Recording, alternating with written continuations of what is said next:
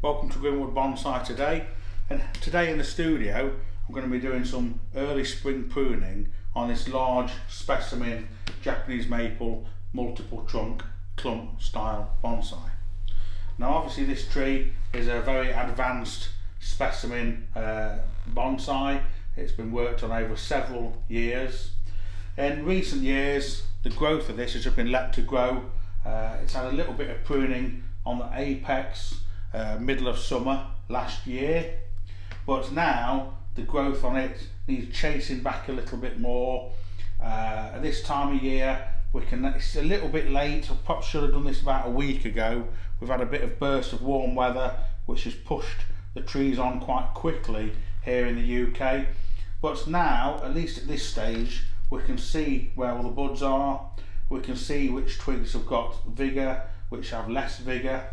And it's a kind of good time to do some pruning on this to try and bring the tree back in to try and get rid of some of the long internodal growth that we have on this tree.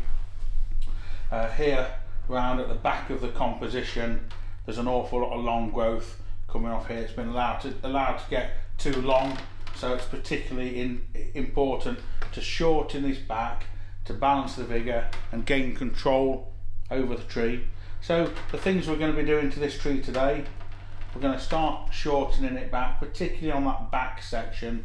It's uh, it needs doing. And I've also been looking at the front of the tree and whenever you've got a tree in your collection, even a tree of this sort of age and quality, you've got to be constantly re-evaluating it, always striving to try and make it a little bit better. Every time I work on a tree in the studio, if I can tweak it, I can alter something, just make it a little bit better. It uh, it's more beneficial uh, in the life of the tree and as the tree gets restyled. And looking at this it was potted with a front in here towards you guys. And you'll notice from that front this second trunk here disappears a bit more behind this first trunk. So from a front where you are I'm contemplating bringing it bringing it round a bit more with the front. Let me just have a look. With the front perhaps a bit more like that. So then this secondary trunk appears from behind this primary trunk. We can see this a little bit more. It doesn't have a lot of bearing on the rest of the tree. It does mean this root comes out a little bit more on this side which isn't necessarily a bad thing but it means that that trunk isn't hidden. It does mean that there's a little scar on this trunk here from years ago. It's a little bit more prominent.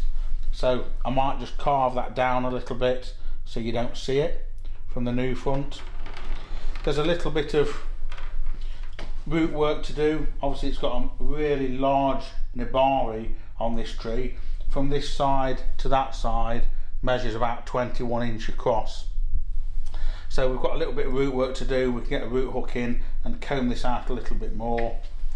It's in quite a shallow pot and it's almost been planted too high in this shallow pot. We've got surface roots here, look, fine roots that are coming out a bit too high up.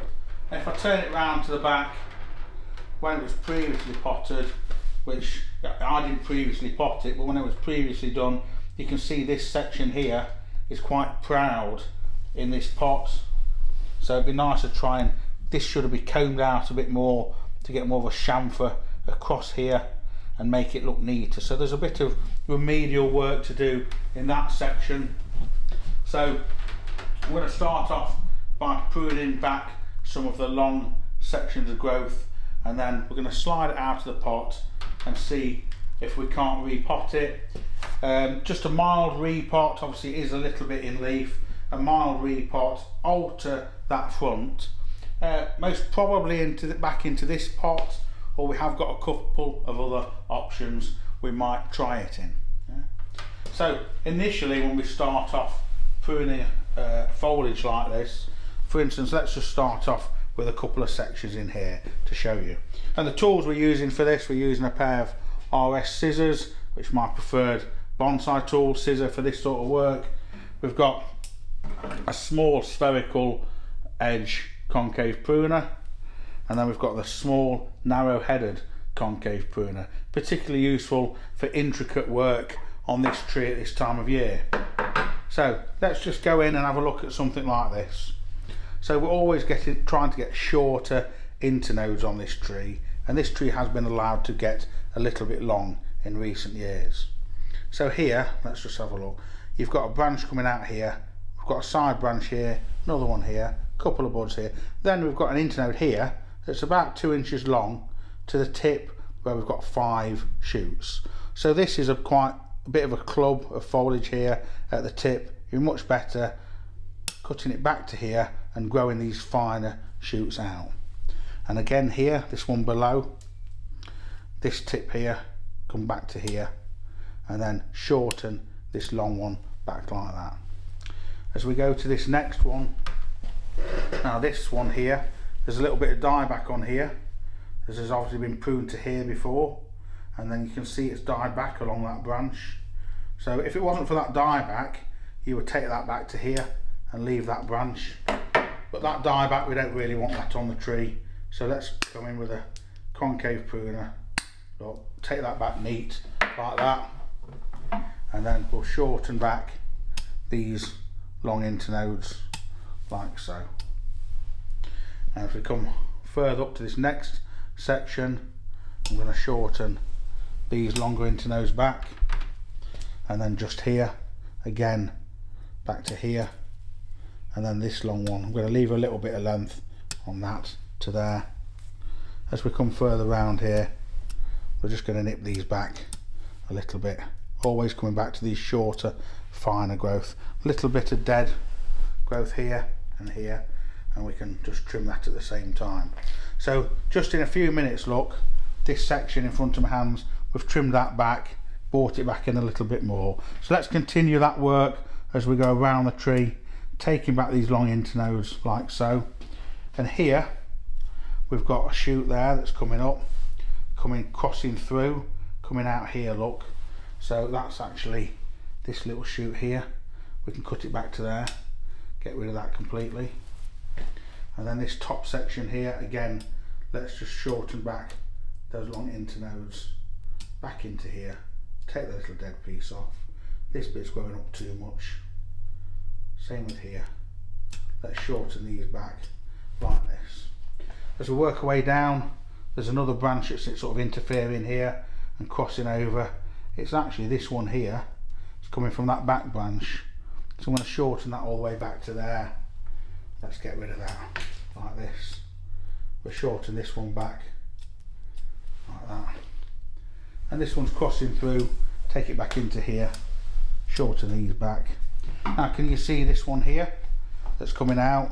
It's quite thick coming out here and then growing straight up and a stub there. That's not a very attractive branch at all.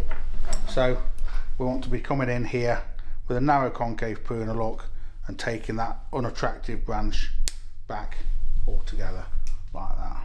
Just neat just neaten that up like that. And again these longer sections shorten it to here this bit and this one back to a bud like that. So a fairly good trim and just in space of five minutes or so if you look at it against the white background all this section here we've now got rid of a lot of the long internodes it had. We can continue to continue to do that to the rest of the tree. Let's try a little bit around this back edge while you're here with the camera rolling. Now this was really quite um, quite too thick here. Down into this section this is very heavy. Same with this section here. We're better shortening this back all the way into here with a concave pruner like that and then coming in here and just shortening this growth back like this and then on this top shoot to here shorten this back down to here. That's going in a bit too much. This is coming down off that next branch up so let's get rid of that this one. This branch is actually coming off this branch over here. So this shoot here wants to come all the way back to that first bud. And then this one. I like to keep my maples trimmed back fairly tight you know and having because this has been let grow for quite some time it's just definitely ready for this sort of work now. And we do this first because the eventual size of this tree has a bit of a bearing on on the size pot so at the moment it kind of needs a pot this sort of size. I've got a couple of pots we might use but they are smaller. So once I've trimmed the tree it might go into one of the smaller pots. It might go back into this one. It doesn't really matter either way as long as we get it into a pot that suits it. This little branch in here that's just died off altogether look in there. So that's not an issue but we can trim it off. And a little bit of dieback here on this branch a little bit here this one here is growing up too much. There's a couple of little stubs. And these little narrow headed concave pruners are ideal for this sort of work but we can get in there and do. And again here look. We've got this branch here coming out here splitting into two. It's quite a nice branch. This one here that's the same sort of thickness. There's a stub here. It's not particularly attractive branch. It's just got this bit of growth on it here and this piece this one is a nicer branch. So that section there we can get rid of that now. It will allow space for this one which we can shorten back. And same with this one like that. And then this one here. This is also a bit ugly from a previous prune here. So that we can shorten back like so. So we're being quite systematic in the way we deal with this tree just going through it step step by step stage by stage cutting back to a bud can you see here where it splits to two? This internode here from there to here about two and a half inch long is never going to bud along that section there. It could potentially bud from here and it's budding from here. So that long section we don't need. So again we can shorten that back. And look at the difference that's made in a few minutes of all that growth that was at the back that was untoward and it was all too too hairy and unkempt and a little bit of pruning some of these little stubs we can just tidy up. We will put some wound sealant some lac balsam on these when we've finished the entire prune. But it's made such a difference to the back of this tree already just a matter of working our way around reducing this back. You can see here on this section a similar sort of procedure. There's probably an hour's worth of trimming on this so we're not going to show you everything but we are going to come back and show it you. When I have finished pruning it so I'm just going to carry on working my way around trimming back these long internodes and then we'll come back we'll show you it pruned and we'll have a look at the uh, at the roots and we'll get it repotted for you. Okay we just spent about an hour pruning this maple. We showed you a little bit of it before and uh, this was the existing front towards you now.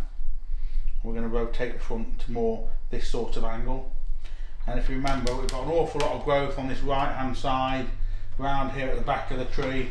This has come back really nicely nice and tight foliage now we've got rid of a lot of the long internodes so it took me quite some time but now we've got the branch is a lot more thinned out and uh, more compact looking ready for the next stage so the next stage is to get it out of the pot and do a little bit of work on these surface roots. But here you can see it just against a nice plain background to show you the difference it's made just by pruning with a pair of scissors.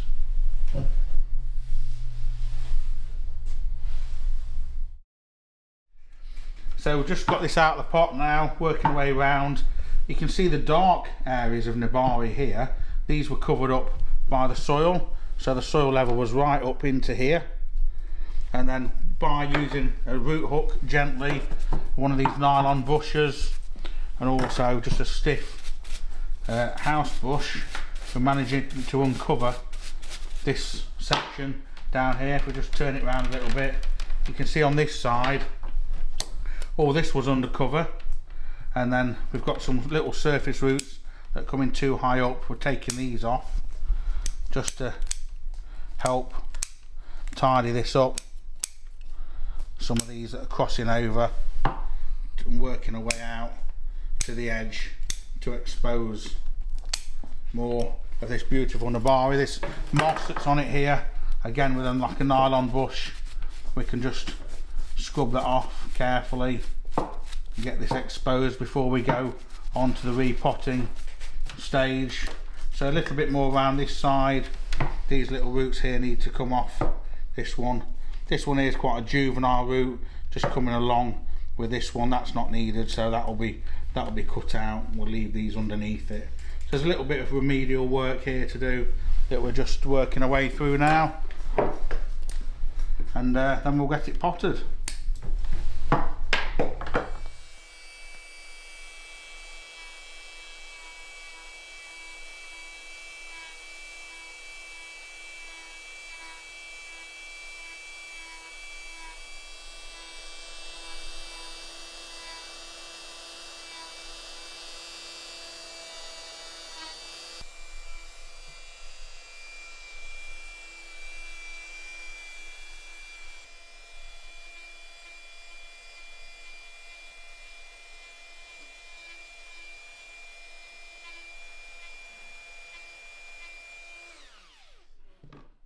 Once we've carved that away just put some cut paste on just to help to seal that cut promote healing and good callousing of scar tissue on that. We got rid of that knuckle that was on it before. You can see around here there's been some on this this cut before a few years ago. Some cut paste on here. And if you just peel this off look this old stuff. You can see the the callus in here where it started to heal really well. And then this cut paste it's left around the edge you can pick off with your fingertips. So that's that started to heal in really well. I didn't make that cut that was probably done a few years ago. But it's not dissimilar to that section that we've just done. So you can see how it heals. So now from the front we've got rid of that ugly lump. The base we found quite a bit we're just going to tidy this up a little bit more. Uh, we'll go around it with some with some cut paste on a few of these these larger cuts that we made. On the larger ones we'll use a bit of cut paste. On the slightly smaller ones we'll use a little bit of, of lac balsam but we'll get those paste up out of the way. Another one in here look. If you wet your fingers when you put cut paste on and it doesn't stick to your fingers it just sticks to the tray. It's much easier easier to apply a little bit like that. So we'll have a little tidy up of the base and uh, then we'll come back and we'll see what pot we can get it into. So to get rid of the, some of this dirt around the edge and some of this moss we've done it with a brush. Can, I've got a little bonsai pressure washer that we use. So areas like this it will just start to clean it all up. So it's a little bit noisy but I just thought I'd show you me using it on this sort of section here. So it's quite an, it's quite a fine jet so be careful not to hold it too close. On um, thin bark trees, like on azaleas or something, it's quite useful. But if you hold it too close, you could literally just write your name in the in the bark with it. So you've got to be very careful with it. So a little bit of distance away to start with.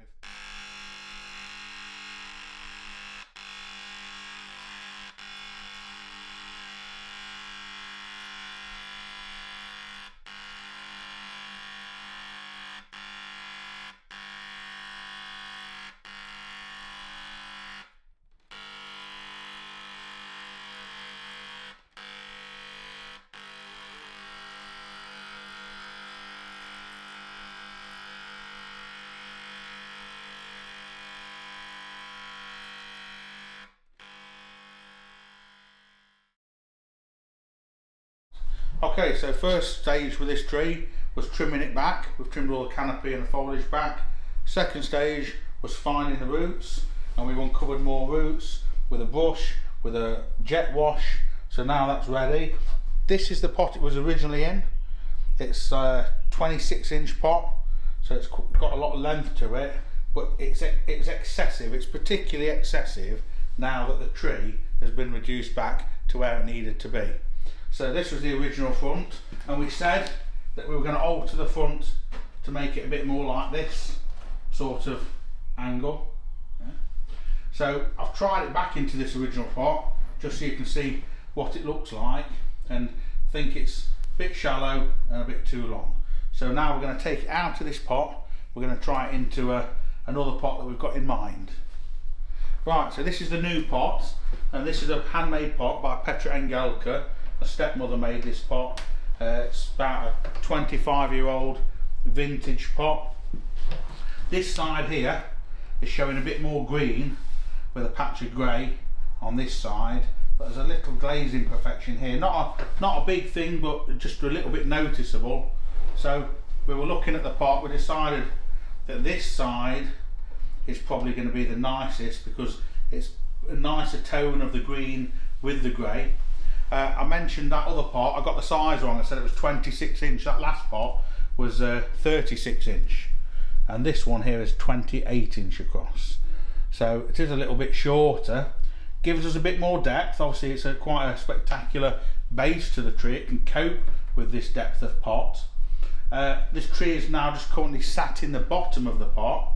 So it wants to be raised up a little bit because the soil level wants to be down here where these roots are. So it's going to be raised up a little bit more so it sits a bit like that but a bit higher in the pot. So we're going to go with this as the front of the pot. Now the trees come in the length of this one it's long enough the other one would be over length and also too shallow. Uh, now we've uncovered these roots we think it looks a lot nicer in this pot and the colours of it are really beautiful against the tones of the Acer palmatum as it comes into leaf and as the colour changes in the leaves through the season. So the stage now we'll take the tree out, we'll put some wires into the pot, some mesh into the pot we're not going to show you that, you've all seen me do that before, and then we'll come back at the end and show you with it all planted and looking, uh, looking at home in its new pot.